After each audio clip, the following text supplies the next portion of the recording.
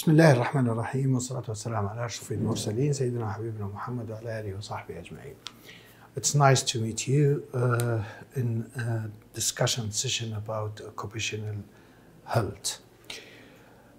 Let me uh, first uh, say that this video is just an introduction for the discussion. So it will show you some concepts and some tracks that we are going to cover throughout our discussion. So, what are the intended learning outcomes by the end of this session? I do mean by that the discussion session. The intended learning outcomes that you would be able, uh, after finishing it, to acquire basic knowledge about occupational health and safety.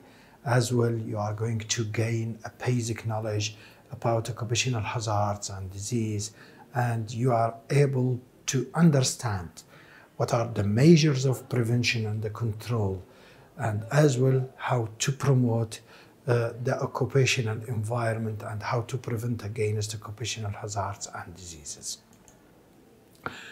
So it should be before go through this discussion to be ready by few things. First of all, you have to know very well what is the definition of occupational health then you do need to know what are the categories of occupational hazards and their types. And later on, you do need to know what are the different types of occupational diseases based on occupational hazards that you would to identify. Later, and the last one, you have to identify and know what are the measures of occupational health uh, safety and these measures you should identify them in details before go through this discussion. Let us start by occupational health physician which is a term that it might be not that well known for some of you. If we would like to go through occupational health physician and discuss that we should define firstly what is the occupational health. Later on, we should identify what are the components of occupational health team. If we are going to categorize the sectors that should be involved in the occupational health team, a occupational health physician is one of the these categories and one of the important sectors that should be involved in in addition to a occupational health physician, what are the other members should be involved in a occupational health team? And what are the duties that the occupational health team should perform? For example, if we do have an occupational health team in our university here, what are the duties that this team should perform in relation to employer, in relation to the students, in relation to the uh, environment, in relation to the buildings, in relation to the environment, in relation to the risks of the uh, occupations that go on. So we should, we should know what are the duties that are these uh, sectors or the members of this team are performing in relation to all those who are involved or those who are in this building or in this campus. Later on, you do need to specify little bit in details what are the duties of occupational health physician. And when we say occupational health physician, we should know that we do have another part who is occupational health practitioner. And this occupational health practitioner is completely different from occupational health physician. And to identify all of these and to have a proper definitions apart from going to search in the literature and extract the information from that, imagine that you are visiting a place or you are involved in a place such as this campus in the university. What are the checklist for the evaluation that you are going to do as an occupational health physician regarding the environment of the university campus and what are the components of the checklist that you are going to involve in relation to the occupations or the different occupations in the university campus.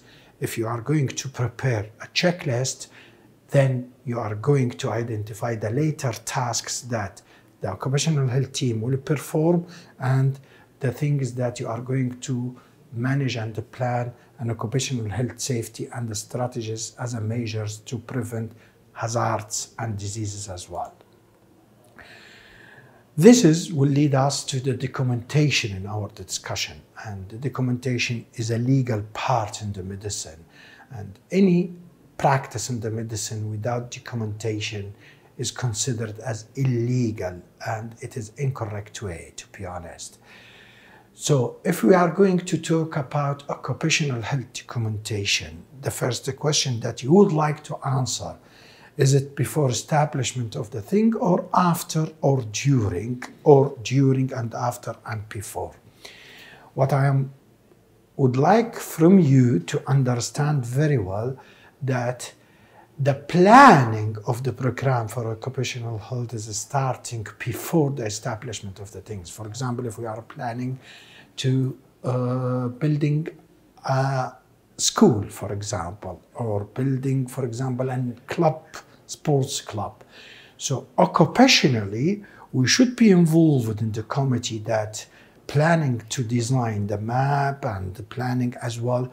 If the map has been designed to put our ideas related to the environments and as well in the supply of the materials for the employers that will provide them a safe work and a safe job without any hazards.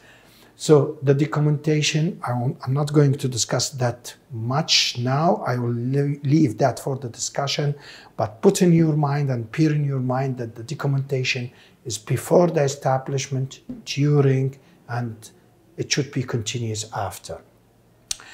Is there certain essential aspects to be covered in uh, any documents related to the occupational health? It depends actually on the tasks that you are evaluate or the occupations that you are evaluate.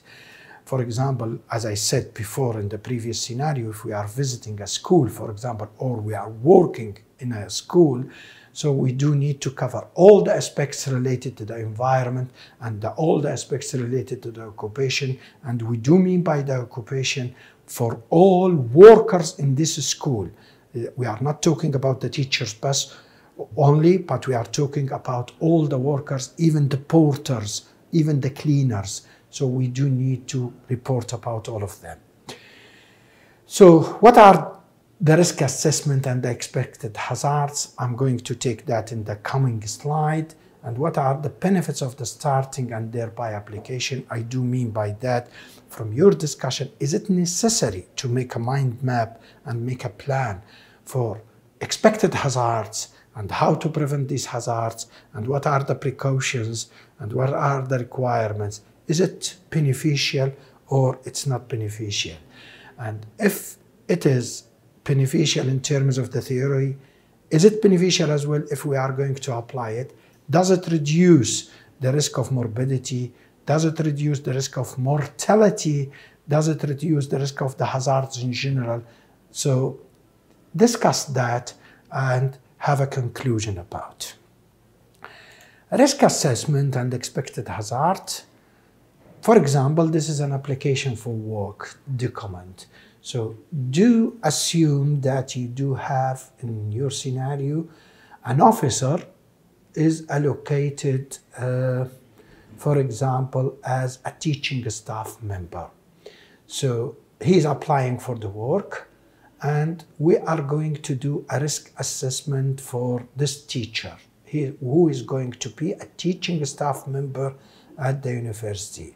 So what is the components of this application form in terms of the risk assessment, which, or sorry, what is the components of the risk assessment form, not the components of the application form. What's the component of the risk assessment for a teacher? Another scenario, we do have some cleaners are coming to apply for the work at our campus. So what are the components of the risk assessment that we are going to apply and work on. So in risk assessment, we do need to identify the risk, the level of the risk, what are the interventions that we are going to use against this risk is to minimize them or to eliminate them. I'm not going to discuss that much pre-employment examination and the periodic examination. I will leave that for your discussion. And what is the difference between pre-employment examination and periodic examination and what are the benefits? And we do have here a figure that talks about types of occupational hazards. Have a discuss about what are the types of occupational hazards and what are the different types of occupational hazards. If you can see here where the mouse is pointing, this is, for example, is a biological hazards. It's talking about biological hazards. So what are different types of biological hazards? And thereby, what are the different types of biological, oh, sorry, occupational disease? What are the differences or different types of occupational health diseases. And have a read about list of occupational diseases that was revised 2010 and these recommendations about the ILO which is available on this website. These are the list of occupational health disease, which is the last version that was revised at 2010, and it was the list of occupational disease and uh, recording and notification of occupational accidents and disease. It is an international document. This is an example. I'm not going to have all types of the hazards, but this is an example of hazards about ergonomics. And you should know what are the 10 basic principles of ergonomics to have a safe work and a safe workplace as well. Safe work for the worker and a safe workplace which will prevent the injuries and reduce the morbidity for the worker. What is the topic in relation to the occupational health? As you can see here, we are talking about routes of transmission. We are talking about bloodborne transmission, airborne transmission. So what is the topic which we are working in relation to the occupational health? Are we talking about something which needs a consideration in terms of the occupational health what are the precautions that should be made, what are the measures of preventions and protection that should be available. Here, it looks like that these people is hearing for someone talking and he's talking through them. So as you can see here in, in, in, this, in this slide, what is the task? I think it is health education. So what is the importance of health education in the occupational health? Is it important?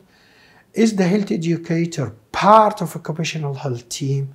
Is there certain topics that should be raised while we are doing a health education in certain jobs? Is there general things that should be raised in any jobs? So discuss about the role of the health education in the occupational health. Is it important or not important?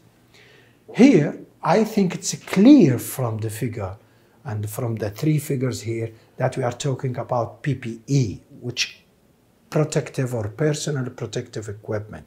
And this personal protective equipment is a necessary, essential part to provide a safe and uh, feasible work without any risks uh, for the worker.